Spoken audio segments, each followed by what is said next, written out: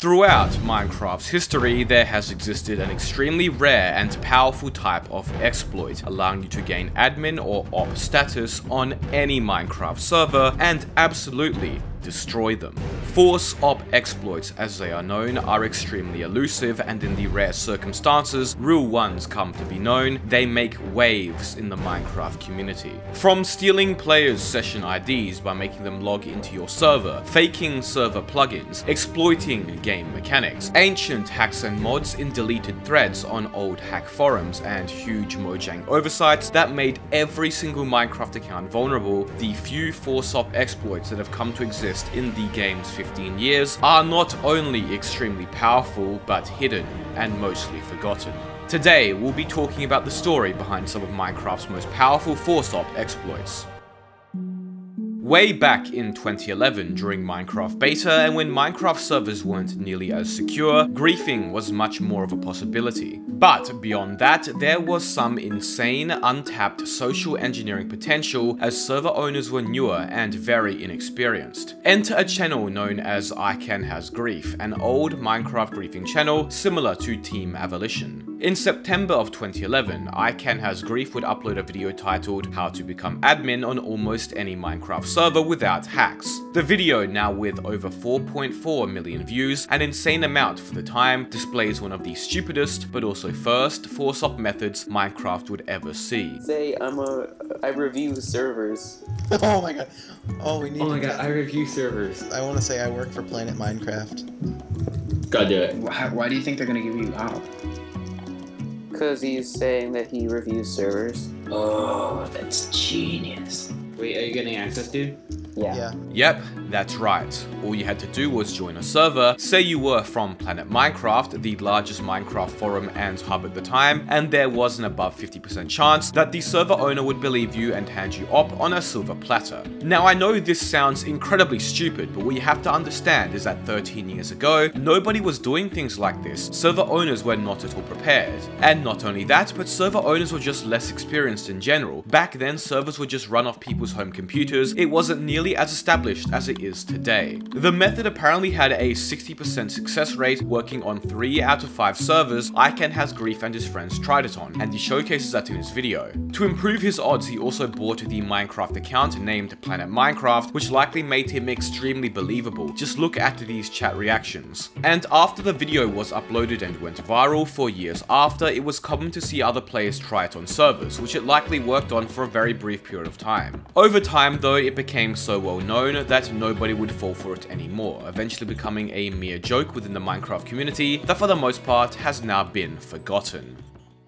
Now, only a few months later, in April of 2012, the Minecraft community had rapidly undergone development, the game had blown up in popularity, fully released, and server owners were much more wary. This is arguably where one of the first true force op exploits came to exist, the Nodus Session Stealer. For those of you newer to the game, the words Nodus might be insignificant, but anybody who played Minecraft in the earlier 2010s will recognize it as one of the most famous Minecraft hack clients to ever exist, and the reason players used to say, don't join servers you don't trust. In Minecraft's earlier versions, such as 1.0.0, 1.1 and 1.2, whenever you joined a server, the server would be able to temporarily set your session ID to zero. A session ID is the game's way of ensuring it's actually you on the Minecraft account. It's a string of random numbers and letters and should not be given out to anyone. So as I mentioned, due to the way Minecraft servers used to work, servers had the ability to change players' session IDs to zero temporarily, and now that they knew a player's session ID, they could log in as them onto other servers. The creator of Nodus Hack Client, Sketch, would create an automated tool for this that would allow you to select a target server you wanted op on and set the commands it would execute. It would then make another server that people could join. The goal was to get a player who was op on a server to join this fake server, which would then disconnect them immediately and would allow Nodus to get the op player's session ID and would therefore log in as them on the server you wanted op on and execute the command to op the player without the actual server operator even realizing.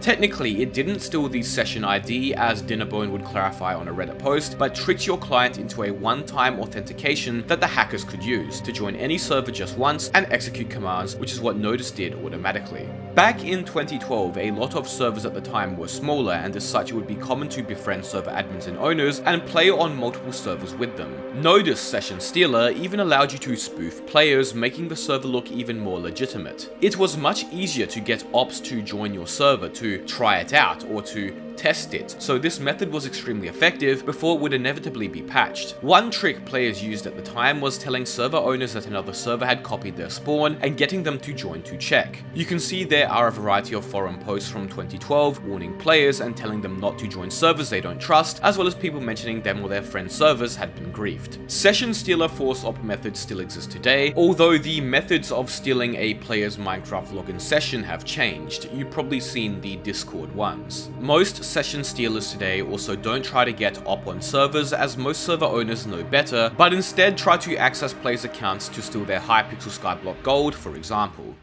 Back in mid-2012 when Minecraft account migration first happened. No, not Microsoft account migration, but Mojang account migration, there was a gigantic oversight leading to an exploit.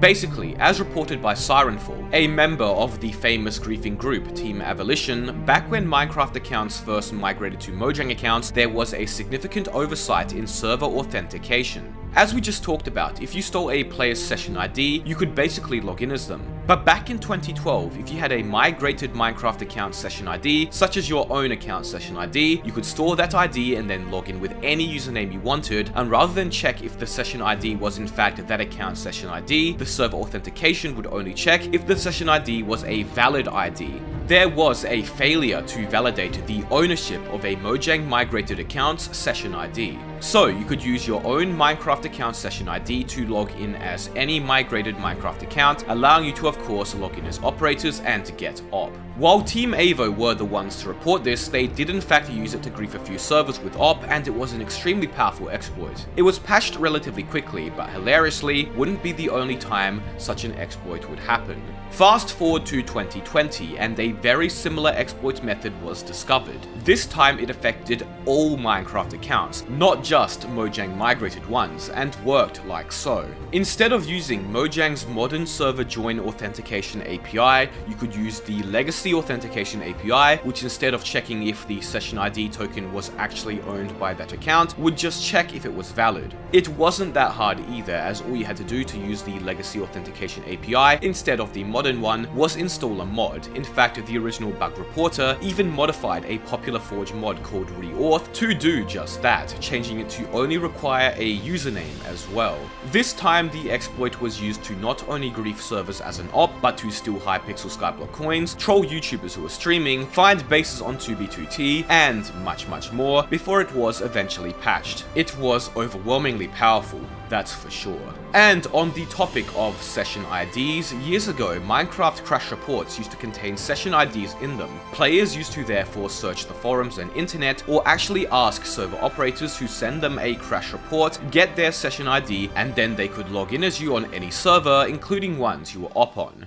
Alright, so we've talked a lot about force-op methods that are now all patched, but what about one which was found way back in 2013 and still technically works to this day? Well, that method is of course the subscribe force op method, where clicking the subscribe button allows you to gain OP, otherwise known as overpowered status, no pressure of course. Also, be sure to check out my Patreon for exclusive content I've never released anywhere else. Anyways, that's where we introduce what's known as Bungee spoofing. This one's pretty technical, so I'll try to break it down as simply as possible. Basically, many Minecraft servers use this Minecraft plugin called BungeeCord. It's a plugin which allows you to link servers together. For example, a hub server, a survival server, a bed wars lobby, and much much more. That's how all modern servers work nowadays, when you go from their hub to their minigames or game modes. Bungee spoofing is where you take advantage of the fact that a significant number of servers have poorly configured BungeeCord or a poorly configured server network and firewall. Without getting too technical, in order to use BungeeCord, your servers have to be running in offline mode, as BungeeCord acts as a server proxy that validates the logins instead, and is the only server which is in online mode. As I'm sure you know, servers in offline mode, otherwise known as cracked servers, need authentication plugins to ensure that players don't log in as other players since they are using pirated Minecraft. If you have a poorly configured bungee cord or server network, players can bypass the bungee cord and therefore log into your server, which is in offline mode, as any username they want, including server operators. They do this by scanning your server's ports to look for servers which are not publicly known, but are publicly exposed or open and not properly configured or protected by the server's firewall. An example of this could be a test or development server, which only these servers admins can join, that has a different port that nobody knows. Technically, this is known as UUID spoofing. The other method, which is what Bungee spoofing is more typically referred to, is where malicious players trick Bungee Cord by running a Bungee Cord server themselves. If a server is poorly configured and has all of its ports open, you can scan the network to figure out what their Bungee Cord config is. Players can then replicate the config file of a server's Bungee Cord and then run it locally on their own PC. Then, once you run the Bungee Cord server off your computer locally, you can log in as whatever account you want and use the slash server command to connect to the server's actual game modes as a server operator. Bungee spoofing and UUID spoofing are pretty old methods now, and as such, any established server is aware of it and is set up properly so it isn't possible. But you'd be surprised at how many newer servers there are where Bungee spoofing has been possible for extended periods of time. In fact, my very own server, og-network.net, was Bungee spoofed way back in 2022, where a player logged in as me and set their accounts to owner to grief our server, but we caught it before they were able to grief luckily and now configured everything properly. Regardless, it's an interesting force-op method as it's one of the only ones that still generally works, even today. Back in September of 2013, there was a super underground force-op exploit known as the Handshake exploit. I have to give a huge shout out to Gildfesh for telling me about this one. He also helped me out with some other force-ops in this video, as there's virtually no other information online about this anywhere besides a now deleted hack forums thread. Basically, for a very brief period of time in September 2013, there was a bizarre login exploit where you could start a server login process with a real account, send a second login with any username you wanted, and then quickly cancel the login. If timed correctly, you could log in as whatever account you wanted, even ones that didn't exist. Here is the only known screenshot of the mod used to do this from an old archived hacked forums thread. In the top left, you would put in the name you wanted to log in as, and then in the right, you would put the delay. Basically, what would happen is you would send a request or handshake request to the server to log in with your normal account, and then almost immediately a second request or handshake would be sent with the victim's username. You'd get a response saying the first was valid but the second wasn't, but you'd still be let in using the second name. This happens because of a race condition, which is a situation in a program's code where the program tries to do two different things at the same time, but both operations need to be done in a proper sequence to be done correctly. What happens here is that you need to get your second username login request in before the first one is accepted, and if done right, it will let you join before the second request has been denied. There is very little information about this as I mentioned, but in Minecraft 1.6.4, released about 10 days after the hack forums post was made, they did mention a handshake exploit was fixed, proving it was in fact legit. In 2014, two force-op exploit methods were unknowingly introduced by Mojang themselves. In Minecraft 1.8, signs were given the ability to execute commands by right-clicking them. But there was a huge oversight in this, in that the commands were run at the same permission level as the console, but the game did not check if the player had permission to place a sign with specific data on them or not. So, using hack clients such as Wurst, players could log onto a server, make a sign, enable the sign force-op module, and write the command they wanted to execute, place the sign, right click it, and get op that easily. This method only worked on vanilla Minecraft servers at the time, but back in 2014 and 2015, vanilla servers were much more common, and as such it was a pretty powerful exploit, especially due to how easy it was. In a similar vein, in 1.8, dispensers were given the ability to not just dispense, but also place command blocks. You could of course, therefore dispense and place a command block with NBT data or commands already in it. Up until Minecraft 1.8.5, any player in creative mode could get a command block with NBT data in it, place it and activate it with no op required. This method did require creative mode, but creative plot servers were much more popular around this time, and as such it was still an effective way of getting op. This was patched in Minecraft 1.8.5. Non-opt players could no longer place command blocks and signs with NBT data, but dispensers still could, so for one very brief update, players could still use this method, using dispensers to place command blocks with NBT data instead. This would be patched in 1.8.6 and was actually an extremely controversial update, more on that in my video about it here though. A similar method which also worked in 1.8 but wasn't as powerful was known as the book hack. Book hack allowed you to make text in books execute commands when clicked, and if done with a hacked client such as Wurst, nobody would be able to tell the commands were inserted. So here's how it worked. You would write a book and give it to a server op or admin. In the book would be some sort of social engineering method of getting the admin to click the text in the book. So for example, pretending to link to a YouTube video with a trailer showing off the server. However, without realizing, the admin would have just executed a command and you could of course set that command to op you. As I mentioned, it was more of a social engineering method than anything, but once again, back in 2014 and 2015, was much much easier to pull off. Now, you may have noticed that besides session ID exploits and vulnerabilities, since roughly 2015, there haven't really been any notable force-op exploits. Almost all of the exploits we've talked about thus far were only a thing in the game's earlier years. And that's because entering the later 2010s and 2020s, Minecraft servers became bigger with dedicated teams run more like businesses by experienced players, smaller servers decreased in number, and the market for Minecraft servers got very difficult to enter, leaving only the more knowledgeable. Not only that, but plugins and server-side software began rapidly developing as well. Thus, the likelihood a force-op exploit would come to be only became more and more unlikely, making force-op exploits more and more elusive. About two months ago now, one of the most powerful force-op exploits ever would be found. I made an entire 30 minute video about it here, but to summarize, an exploit was found in the popular anti-cheat plugin known as Vulcan, allowing any player to configure the plugin in-game. By renaming two chests to the same name of the Vulcan plugin's GUIs, any player on the server was able to access a special menu where you could enable and disable the anti-cheat's various checks, a menu which normally only server admins can access.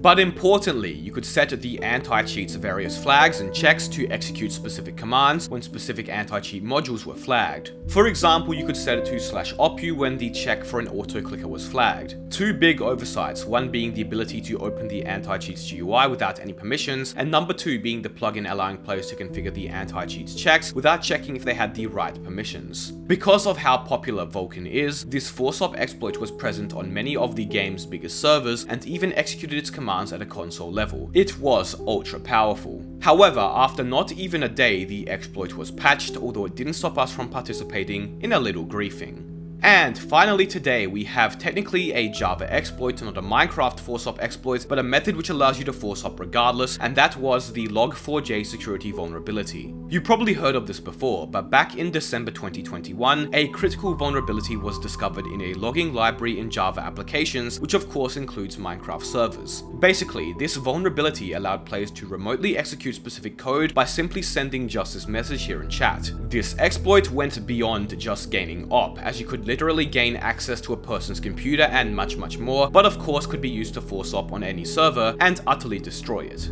And that about wraps it up. Be sure to check out my Patreon for exclusive content never released before. Be sure to subscribe. Thank you all so much for watching